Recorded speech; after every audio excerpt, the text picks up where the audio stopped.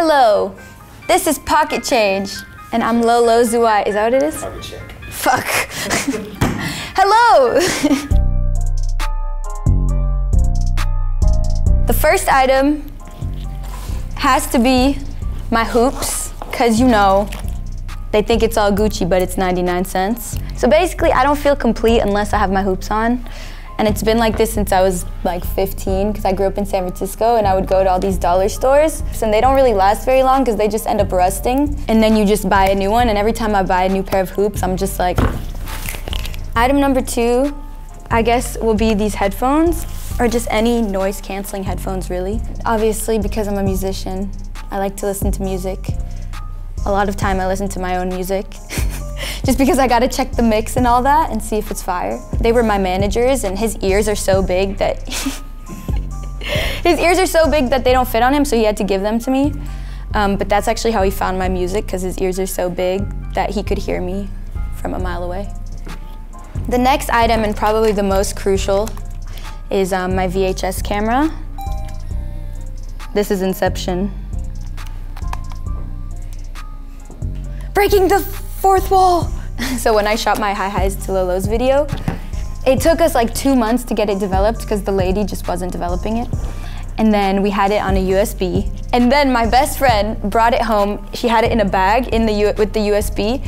And she's like, I got the I got the film. We looked down and there's this giant hole in the bag. And I was like, no, no. And everything was gone. But then we just realized we could just call the woman and she would put it again on a USB. So what we got here. Ooh.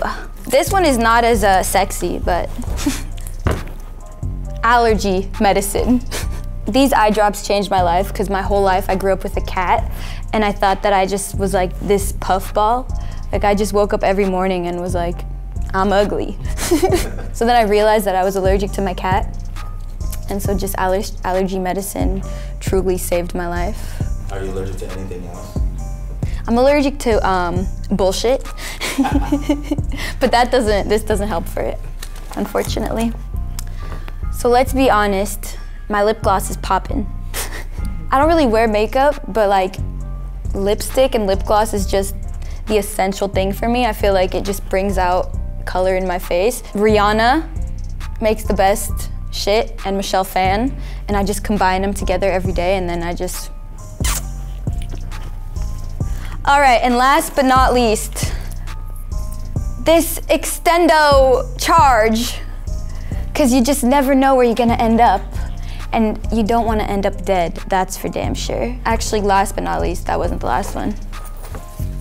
The fanny pack is the most crucial part of the outfit and the day because everything you just saw fits in it. KidSuper Fanny Pack is the most fire fanny pack because you can't really purchase it because it's always sold out. But I used to live at KidSuper and it's like this whole collective of artists and whatever in Brooklyn. And when I moved there in New York, it actually started and launched my music career because I met my manager who then introduced me to my producer and I recorded my first song in the basement. And there's a really, really cheesy quote in the back of the fanny pack that I like to hide because I don't, I don't like this quote, but it's good. What does it say? Climb the fire escape to see the stars. And that, my friends, is my pocket check.